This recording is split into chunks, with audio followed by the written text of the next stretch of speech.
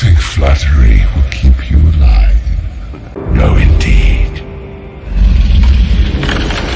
You seem familiar with my name, but I don't remember smelling your